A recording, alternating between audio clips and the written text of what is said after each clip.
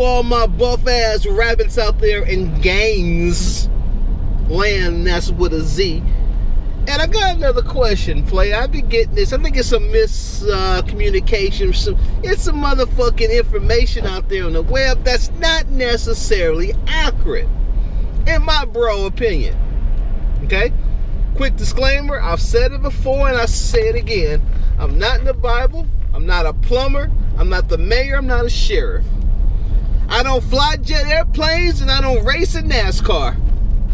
I'm just a bro I got a lot of experience with the rabbit skittles, and I'm just giving you my mother motherfucking opinion for what it's worth. With that said, if you just Google SARMs, right? Just just type in SARMs. You get a lot of good information, and you also get some bullshit, especially on YouTube, man. YouTube is fun. I'm not saying I'm an expert, but I'm just saying from my personal experience. See, it's a lot of cats out there giving some shit out and ain't tried it.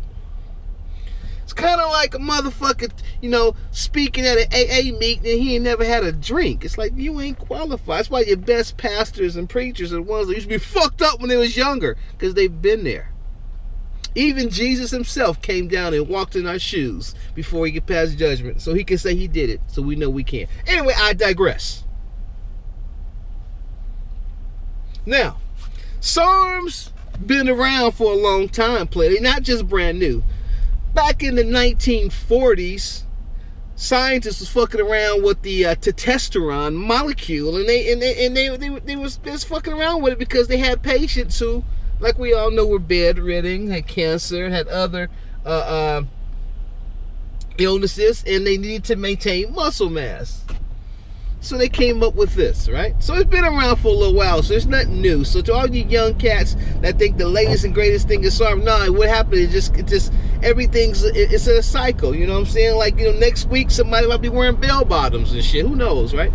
But anyway, it's a lot of cats out there telling you if you want to lose weight, if you want to cut fat, get on a SARM. That ain't necessarily true if you're fat start well i'm sorry i shouldn't say fat. Let's let's make it politically correct.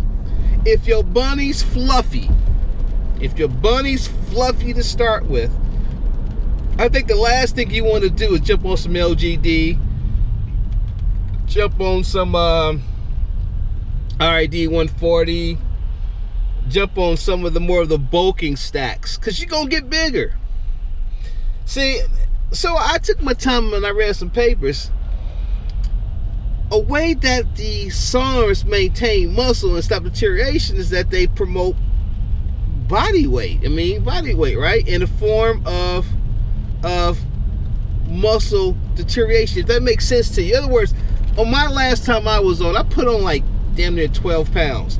But it was 12 pounds of lean mass muscle for most part because I'm lifting also. Right? I got Cat hit me up, and, and, and that's all just to get to this. Cat me up, and he was like, you know, and, I, I'm I'm gonna kind of summarize his email. He goes, you know, um, he says, uh, my yellow six foot five wing bearing saber tooth uh, hairy poodle. God damn, bro, you, you got a ooh hairy poodle. I ain't never heard that. It's 287 pounds. I need to lose weight. What SARM should I take? Now, first of all, that's just a really generic ass question. Fuck, I don't know, man. I think the first thing you might want to do is put down the ding dongs. But I digress. I'm sorry. First thing you got to do with anything, first thing you got to do with anything, I'm talking from experience just going through, and I'm, and I'm going to tell you why, is you got to get that diet straight. That's off the top. Now, I don't want to make these videos too too too too long. I got to cut this because I talk a lot. I talk a lot, man. Anyway, if you're big to start with, what you want to do if you're going to run any SARMers, you want to get your diet straight, and then you want to lean towards, and I, and I wrote this down for you, you want to lean towards the S4s, you want to lean towards the SR 9009s. You want to lean towards maybe the GW and maybe the oxygen for cutting, right? So, so we're gonna we're gonna run this down. This might be a little long, and, and, and I'm gonna tell you what I read here, because everything else is gonna put on mass. And if you're already big, it's no need in putting no mass on top of a big frame because you're just gonna look larger. What you need to do, and I recommend do, is get rid of the body fat. Cut your body fat, then you jump on that LGD, then you jump on that RAD 140, then you actually see your gains, man. Because I got a lot of cats in this shit ain't working. Shit ain't working, man. I, you know, I ain't putting on no muscle, but they fluffy to start with. You just fluffier. Your muscles underneath all that fat. It's like everybody had abs. Like I was at the gym last night, man and uh, I don't mean talk about nobody, but there's some big girls, man, and they were killing themselves doing crunches. And I wanted to say, baby girl, baby bunny, bunny, bunny, hold up. You can do crunches until you're 95. You ain't gonna ever see an ab until you lose that 10 pounds of belly fat. You just gonna have a strong ass core, but a fluffy ass stomach, if that makes sense to you. Got to lose the fat. Got to cut the fat.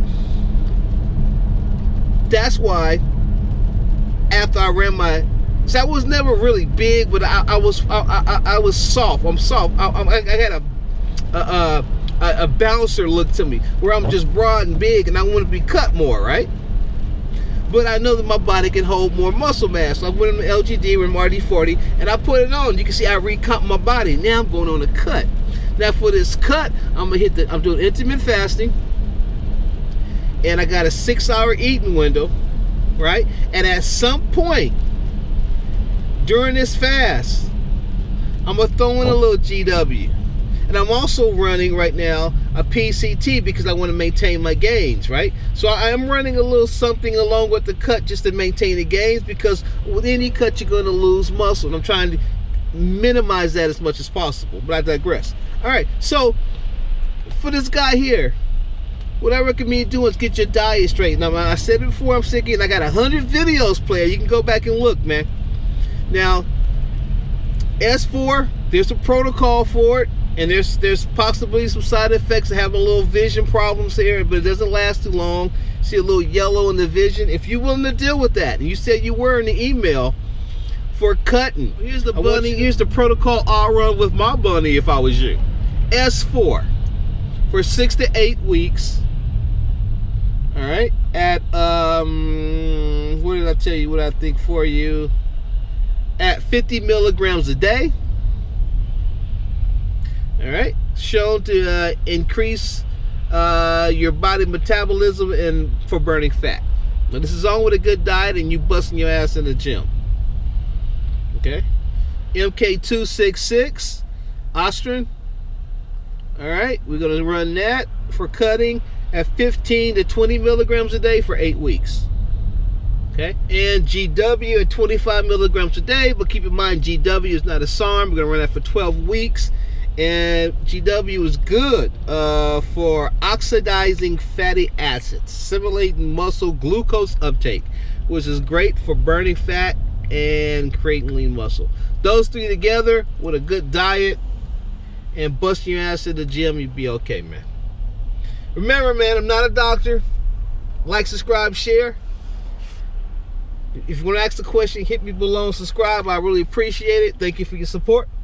And this shit ain't for human consumption, but it looks good on you. Peace. Bible. So unless you train with something that has four legs, ears, and eat rabbit piddles and rabbit skittles, this shit ain't for you. But if it is, check you next time. Peace.